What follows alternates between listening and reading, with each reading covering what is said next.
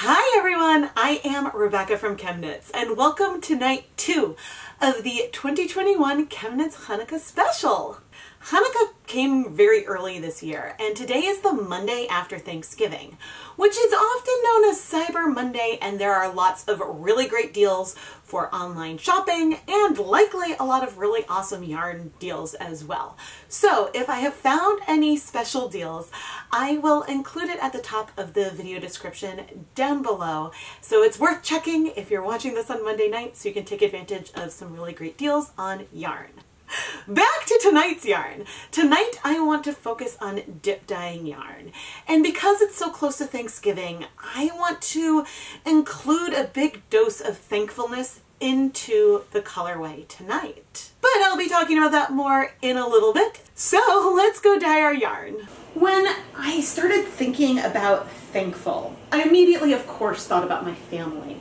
But I also thought about my act of reflection and when and where I like to reflect and am really able to think and process about the things going on in my life. And that has a lot to do with trees. And so I wanted to create a foresty, simple, inspired colorway using Dharma Pecan Brown and Forest Green. I know this might not be traditional Thanksgiving where you might have warm reds and oranges that sort of go along with fall vegetables and Thanksgiving type foods. But I really wanted to bring myself into nature for this. And so we are going to create a very simple green and brown colorway. And I don't think I use brown like enough as a star in my dyeing. And so I really want to give it more of a moment versus being an accent. At least that is my goal. I put on my respirator mask, safety glasses, and gloves to mix up our dye stocks. To get started, I went ahead and made a 1% stock solution of each of these two colors. That means that I would measure out one gram of dye and dissolve it in a total of 100 milliliters of volume. And since I'm going to be dyeing a lot of yarn, I went ahead and made up a liter of this 1% stock for each of the colors. So I used 10 grams of dye in one liter of water. I have always spent a lot of time thinking about trees and actually when I was a kid I did weekly fundraisers for the tree fund in the town that I lived at the time. So for this inspiration I'm really pulling back from my childhood and my love of trees and nature and outside. I am pre-soaking our 10 gram mini skeins in just some plain tap water for a couple of hours so it is nice and saturated. I have the yarn grouped in bundles of 10 10 gram skeins so each one that I pick will be equivalent of 100 grams. There is one that has just five minis on it but the rest are all 10. And there's no acid at all in our pre-soak. It has been a while since I have included just a purely dip dyed colorway into one of my samplers. And I do often get questions about how does a dip dyed colorway knit up? Because compared to a lot of the other kinds of colorways I dye, dip dyed yarn has a more repeating pattern with some subtle variation, but it is one that is prone to pooling. Now, I do want to point out one thing because the kind of pattern and pooling you get depends a lot on the size of your skein. The mini skeins that I am using are this big. I didn't measure it, but this is the size of a mini skeins. And I wanted to compare it to a skein of Stroll, which is, you know, a reasonable amount longer before dyeing. So swatching dip dyed mini skeins compared to say a dip dyed skein of Knit Pick Stroll, they would pool differently, it would pattern differently. So therefore the size of your skein does matter. Think about the extreme. If you had a six meter skein and you dip dyed it, well, then you would get sort of a repeating self-striping color because there would be enough so you would get those long color transitions and you'd get shorter color transitions with either of these skeins. So I did want to just point out the size differential. So not every kind of colorway you do on a pre-made micro or mini skein will give you similar results to how something might knit up on a, a a different commercial skein. So that is something to pay attention to. I still wanted to do this because one of my goals for these Hanukkah samplers is to include multiple different types of colorways so you can play with them and see how they knit up because that is really one of the most frequently asked questions I ever get. You probably noticed I had a little bit of a spill when putting the green into a bottle. So we have now started a yarn mop. Uh, a yarn mop that I will be using for today's video.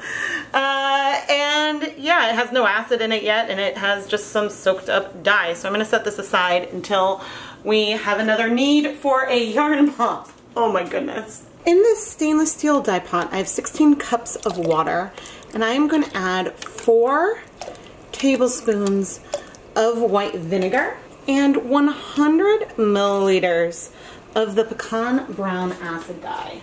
And I'm probably gonna use pecan and pecan very interchangeably. And so this is pretty hot already. I do want to come and give it just like a nice little stir. When I'm dip dyeing, I like to have tongs on hand to help me uh, move the yarn around in the pot. And you can see we've got a lot of steam. The pot's pretty warm. We're gonna start dip dyeing 200 grams of the fingering weight yarn. And as we dip, I want to go slow for one, but I also want to make sure that as I dip, I move things around and let the yarn really float because um, otherwise you can see that in these more interior sections, we can get less color. So another thing I can do is come in with the tongs, help move things around as I raise and lower, going a little bit deeper each time. Now, starting with a larger volume of water means that colors may absorb a tiny bit slower, but also gives us space so that way when we dip the yarn in, we can move things around, um, which is nice.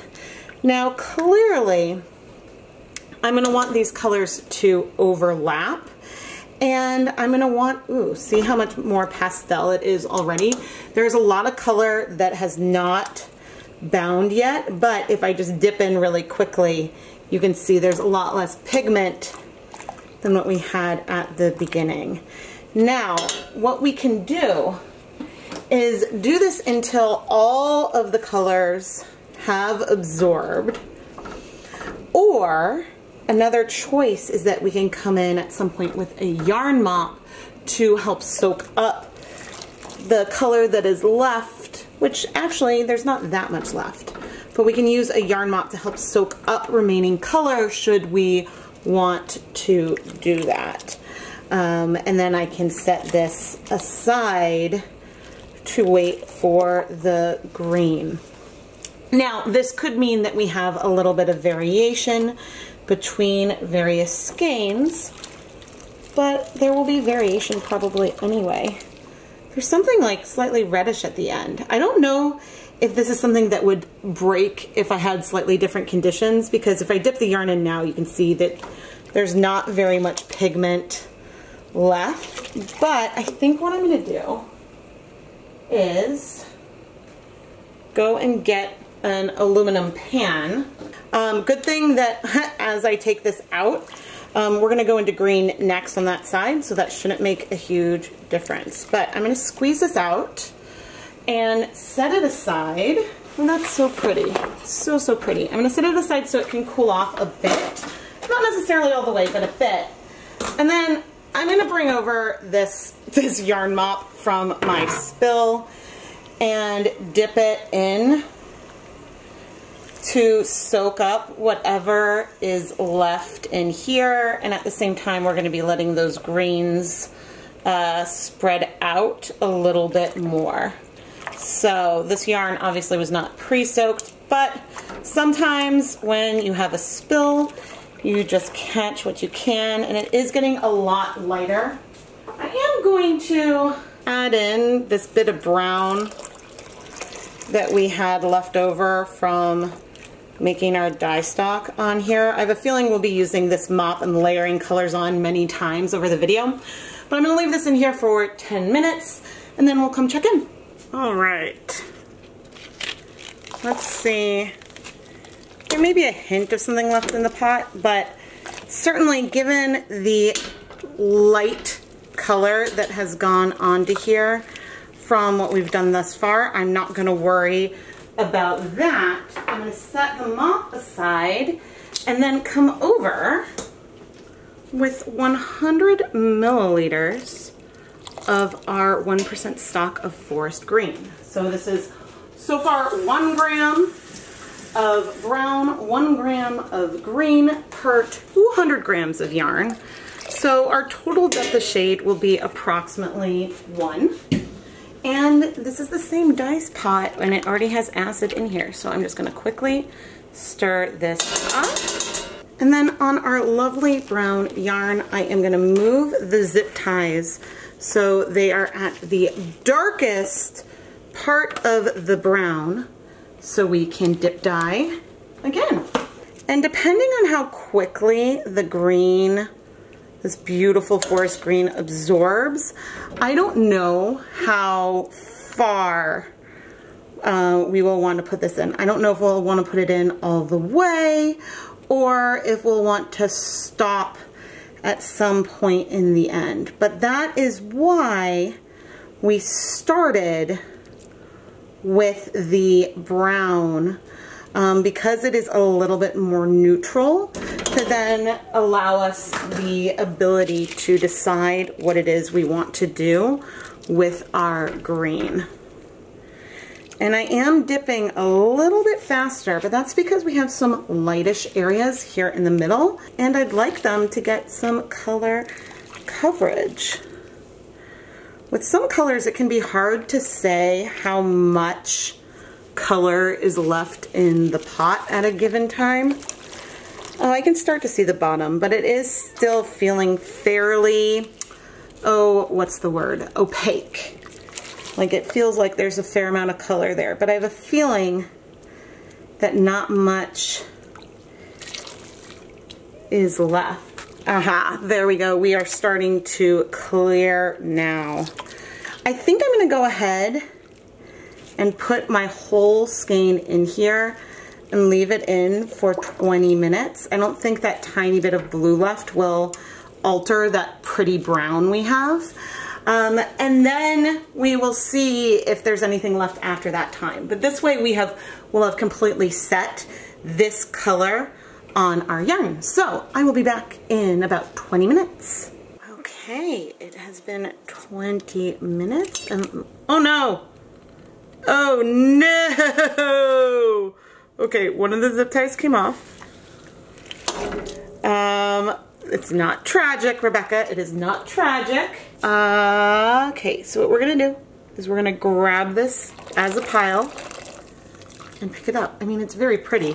Sometimes the reusable nylon zip ties, when they get really warm, uh, then they, yeah, this doesn't happen often, thankfully, but still annoying. Okay, so I'm gonna leave it like that and not touch it or move it until it's cool when I can put that zip tie back on. Yeah, so that was a fluke. I must have just hit it at the wrong spot.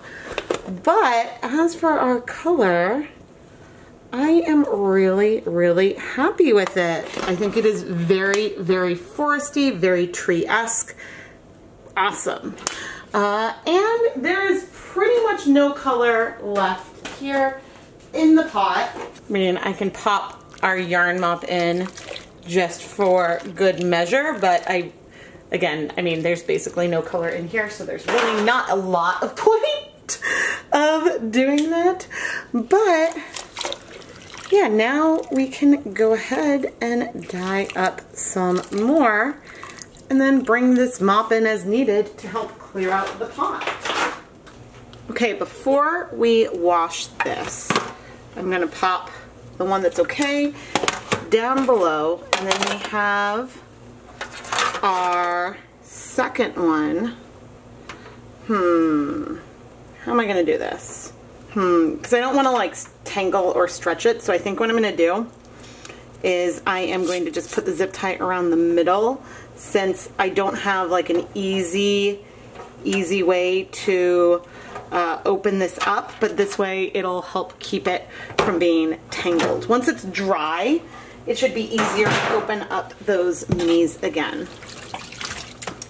Okay, let's add some water and some clear dish soap to wash off our cooled off yarn.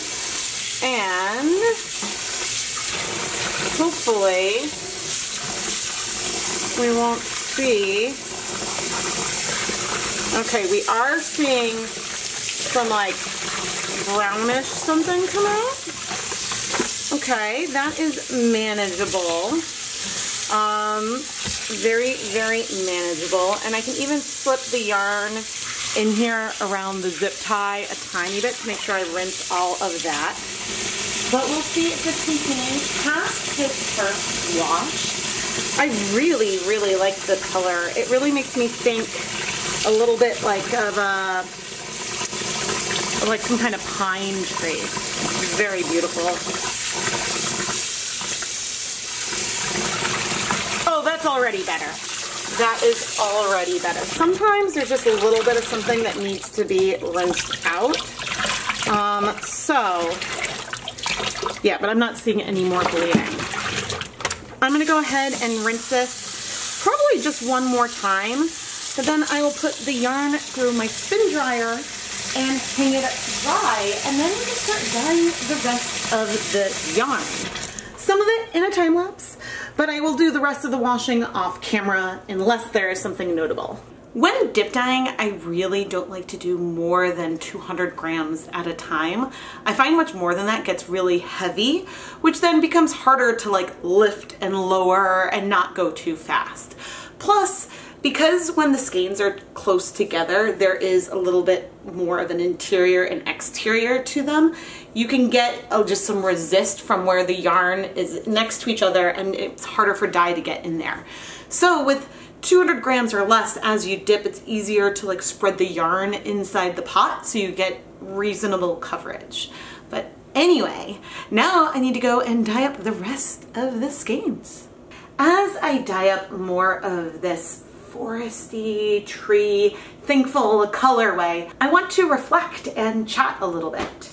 2020 and 2021 have had their fair share of challenges and there are so many things that I am thankful for and I just want to take a little moment and reflect on some of that today. I am so thankful for my family. Uh, my, my boys are getting so big uh, and they just bring us so much joy. I am very thankful for my husband Keith who is my partner, my best friend. All through all of our marriage and time together, we've supported one another, but I feel like knowing how hard these last years have been, we have really made an effort to support each other as each of us have ups and downs, which is natural with the pandemic and everything that has come from um, part of that. So I'm very thankful for our partnership. And I'm very, very lucky that some of our favorite trips are staycations anyway. So we've had, we have managed to make some of this time stuck at home really, really fun. I am thankful for extended friends and family who we've really made an effort to keep in touch over Zoom and phone calls. And I have some friends that I've probably spoken more to now than maybe we would have otherwise because all of us have spent so much time at home. And so I'm really thankful to have had those extra moments with people I care about greatly. Because even because if we can't be together in person, the next best thing is to just hear their voices and share what we're all going through. I could probably talk about this for a really, really long time, but another thing that I am so thankful for is all of you for watching and joining me on my yarn dyeing journey.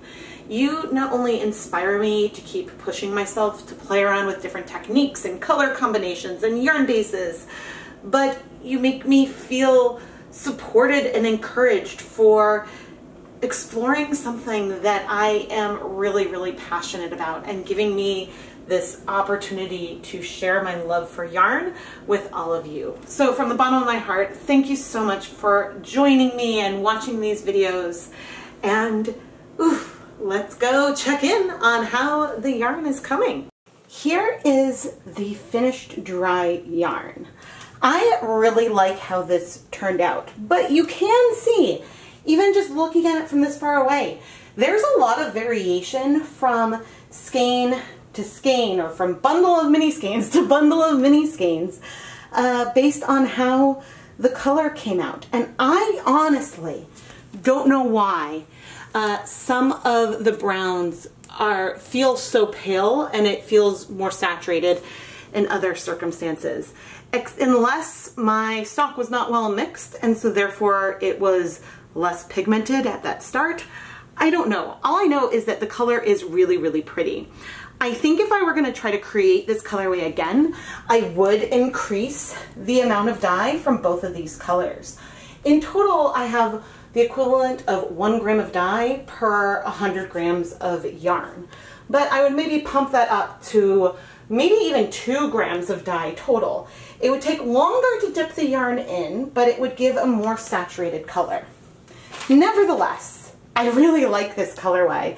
And I think it is going to be a really nice example of the soft variegation and somewhat uh, repeating colorway you can get uh, when you dip dye yarn. Our yarn mop was used in every single case to help soak up the leftover brown and to wipe up any spills on the counter from when I was measuring out dyes. The soft brown has, as you can see, some patches of darker brown and green sprinkled in. This is absolutely not a repeating colorway. It's a lot more tonal, but it's also, it was also really fun to see how slowly that brown built up because there wasn't that much pigment left after each of the brown dips. But as you can see, we uh, did have enough to create a beautiful mid-toned skein. So each of these bundles were dip dyed probably in two separate circumstances. Um, but you can see that the brown may go up further on some skeins than on others. And so there is some variation of color within 100 gram set. Now, to be fair, since these are groups of 10 gram mini skeins, they could have slipped in position uh, with the rings, so that could make the transitions feel even softer. But there is an impact with how the dyes are able to reach the fiber based on where the yarn is located on the outside versus pressed up together. So I want to take a look and twist up these two bundles and see if we notice massive differences within the minis. I think it could be a little hard to tell when things are twisted exactly how similar or different they are. Certainly you can see, which we could see before, that this set of fingering weight is deeper overall than uh, the DK, but there is like a, a there are a couple skeins here that do feel lighter overall than the rest. This doesn't mean that your skein dip dyed would be asymmetric. I think that if you want the most consistency in a skein, then really make sure that you separate and move the yarn around as you're dipping. And you maybe even use a little bit less acid so that way the colors strike a little bit slower, which can help you get more even coverage on the part that you're dipping in. But I really hope that you've enjoyed this foresty kind of colorway. And here are most of the rest of these minis. Hoo-wee, that is a lot. but I am thankful for my new assistant, a skein twister, which I will chat more about in the Hanukkah vlog that will take place after all the Hanukkah special videos. I really hope that you enjoyed my thankful colorway I created this year. And I also hope you enjoyed hearing about some of the things I'm thankful for and seeing some pictures of me as a little girl. As I mentioned earlier, I am so thankful for all of you for watching and participating in these videos. And please just make sure that you are subscribed to the ChemKnits Tutorials YouTube channel. During Hanukkah and a bit beyond, I will have a new video coming out every night at 8.30 p.m. Eastern Time. And some of these will be premieres with me in the live chat room so we can hang out and chat while reacting to the new yarn dyeing video. And it is just all so much fun. So thank you all so much for joining me on my color journey for these last few years. I am having so much fun. Don't forget to check the video description for any Cyber Monday yarn deals that I've come across today that you still have time to take advantage of for the last few more hours of Monday night. But as for Tuesday, what kind of yarn do you think I will dye tomorrow night? I cannot wait to show you what will be coming on night three. Thank you so much for watching.